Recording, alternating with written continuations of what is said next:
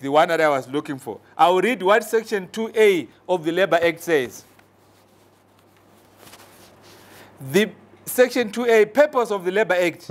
The purpose of this act is to advance social justice and democracy in the workplace by A. Giving effect to the fundamental rights of employees provided for under Part 2.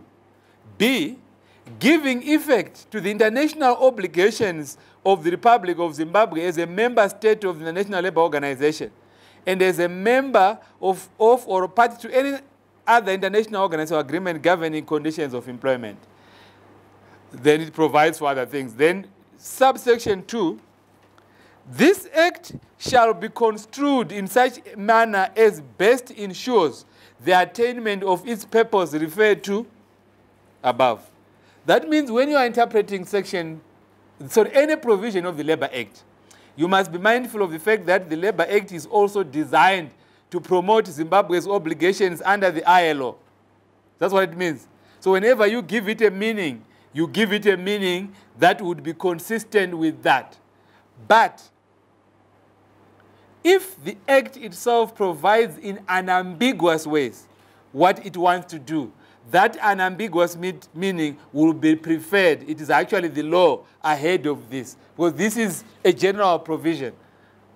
I, I think that, let's be clear, the courts will look at this provision as telling you that the kind of international obligations that we will go by are those obligations already specified in the Act.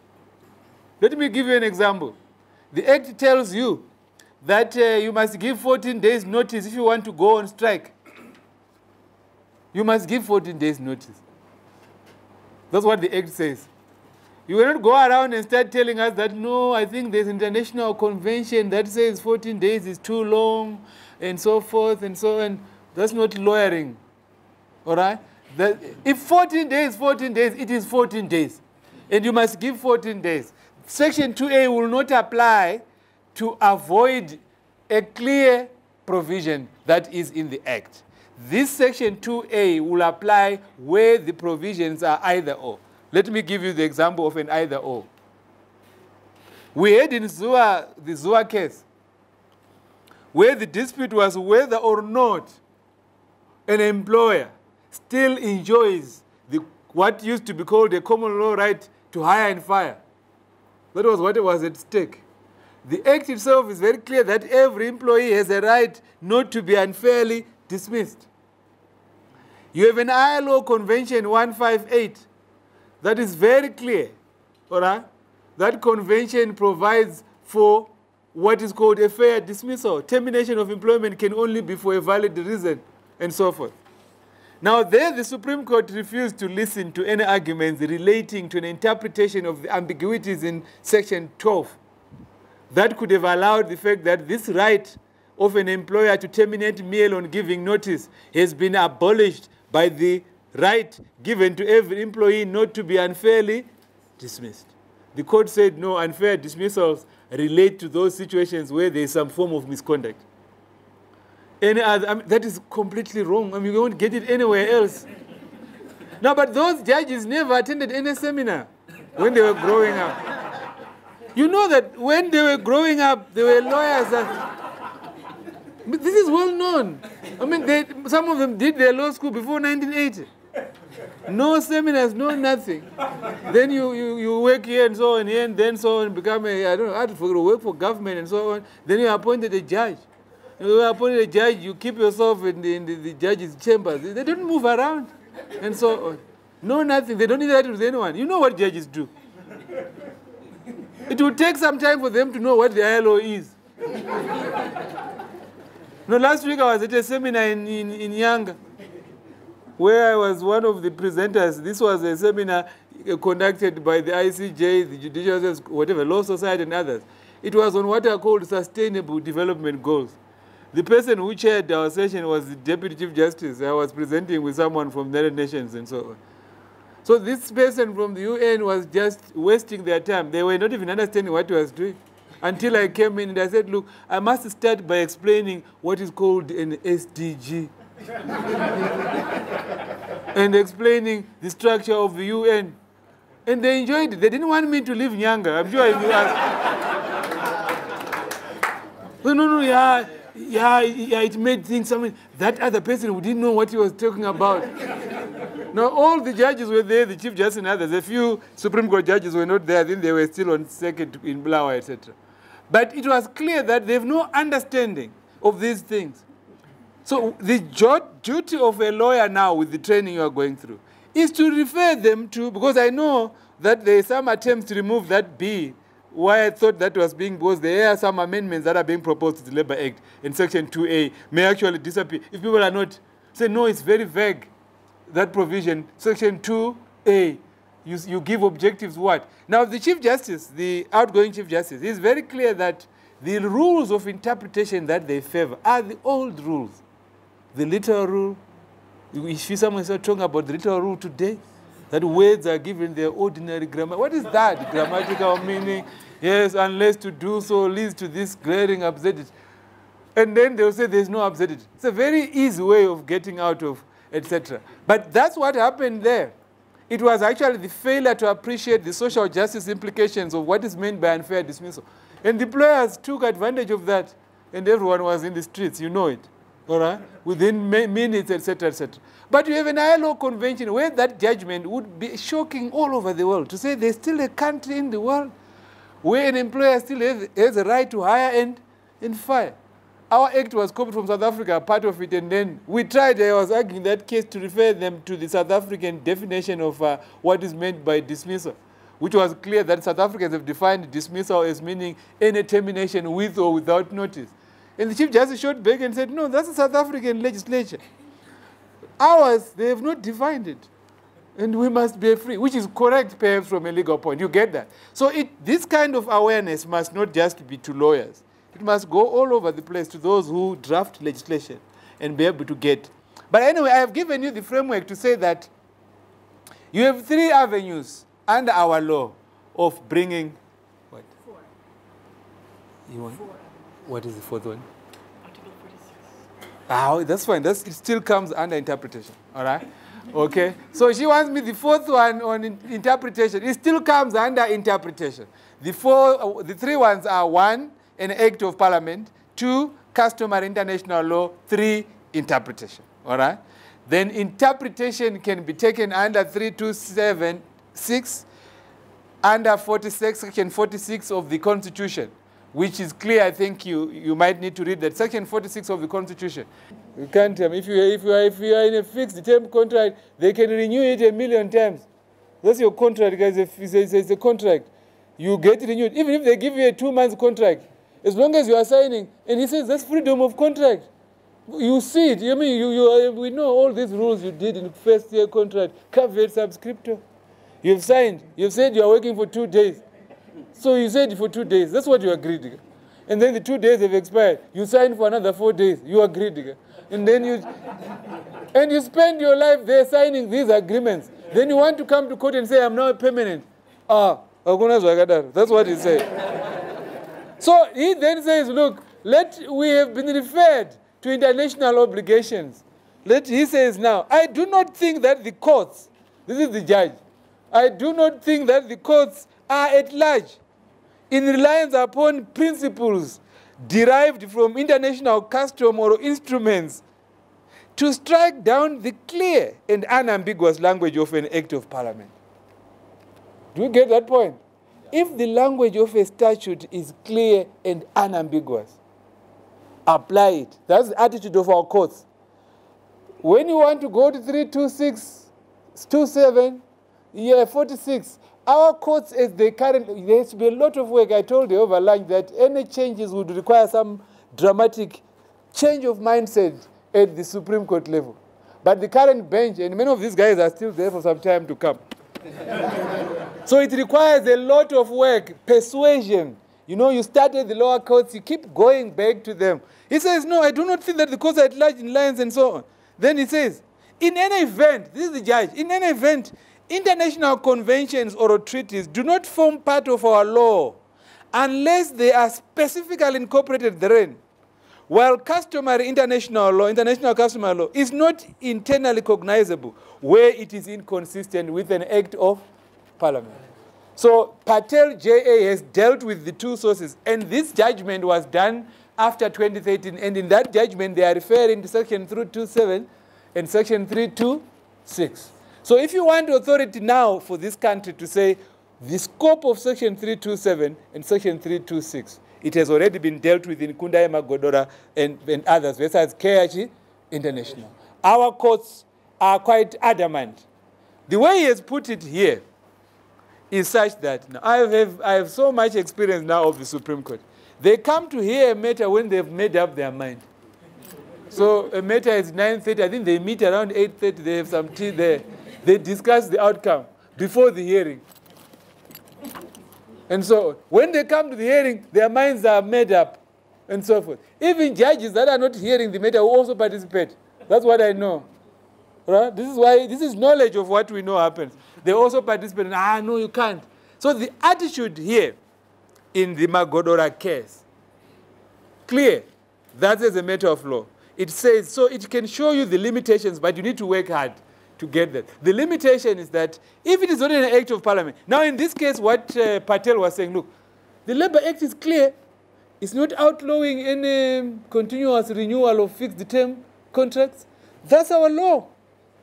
What does the international, co- uh, whatever the international uh, treaty has to say about it? The law is clear. And my understanding, according to him, we only apply 327, subsection 6, if the law is unclear and unknown. So he says that it cannot strike down the clear and unambiguous language of an act of parliament. That's what they say.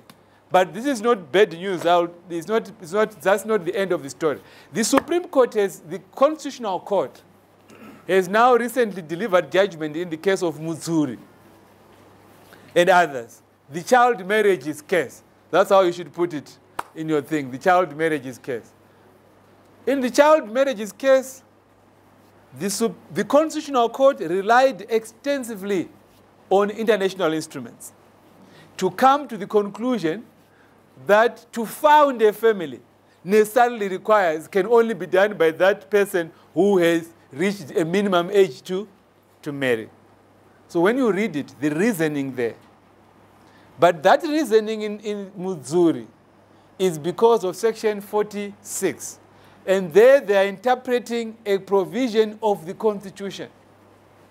It will not assist the interpretation of any other piece of legislation which is not the Constitution easily.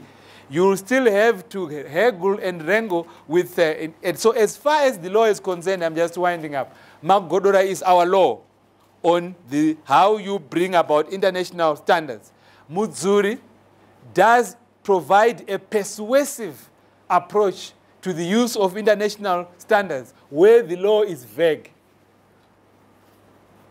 Uh, I think I must be clear like I'm teaching.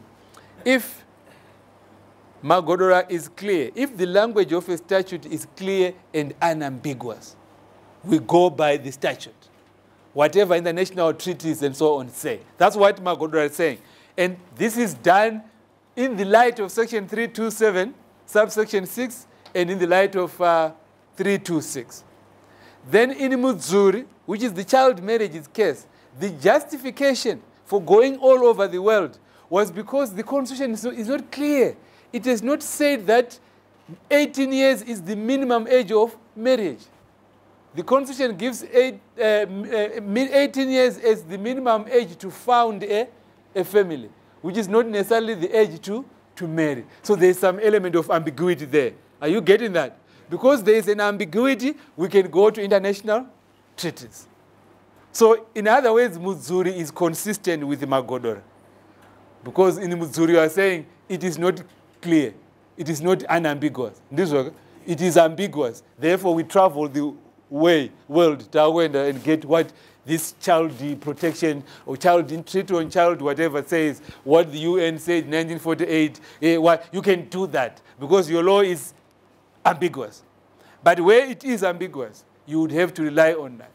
Now, before all these things, we had a judge, uh, a, a, a, a, bench which was headed by Chief Justice Dumbutshena, and another bench that was headed by Chief Justice Gubbay. Under those benches, this approach that you find in section 46 of the Constitution, and in section 327, subsection 6, was actually the law in this country. In a case called State versus a Juvenile, State versus a Juvenile, that is a case of 1987. You then get the citations. Just you can click it and get State versus a Juvenile. Chief Justice Dumbutshena said, look, Zimbabwe is not an isolated terrain where we find that international bodies have given certain interpretations. Zimbabweans must benefit from that wisdom. And when we are interpreting any statute here, we must invoke that kind of understanding. That's what they said in state versus a juvenile. And they were able to say corporal punishment is inhuman and degrading. After they looked around European con, you know, a, a convention on human rights, and they said, look, we are not less human than other humans. If corporal punishment has been held to be inhuman, and here we have to interpret the word inhuman, we will say it is also inhuman to subject a person to corporal punishment. Now you know that when they extended that to people under 18 years, our legislature moved quickly and they amended the constitution to allow corporal punishment. They also said that uh, it would be inhuman to keep a person on death row. And the president said, ah, I don't understand the logic. If we keep you alive, why would it be inhuman? I mean, and, and so, so we had the Constitution of Zimbabwe, Amendment number 13, was actually to reverse both the corporal punishment judgment and the inhuman and degrading uh, keeping and so forth. That was then and so forth. Then we had uh, Chief Justice Gubbay in a case called Nyambirai versus NSSA. That is 1995 uh, Zimbabwe Law Report. I think whether it's volume one or volume two. Nyambirai versus NSSA. That one relates to the ILO. That one relates to the ILO. Now, in that case, which is my final point, Nyambirai versus NSSA. In that case, this young lawyer called Nyambirai, who says, look, he goes to court and says, look, I have lots of money myself. I don't want to, to be part of a social security scheme. And don't keep me there. And you cannot compulsory take my, my, my, my, my pension. I can look for after myself. And I can take care of my family. So this idea of compulsorily requiring me to be part of NSSA, of a national social security, is actually contrary to the constitution. You are compulsorily taking away my, my property without compensation. That's what the argument, Nyambirai's argument was in the Supreme Court.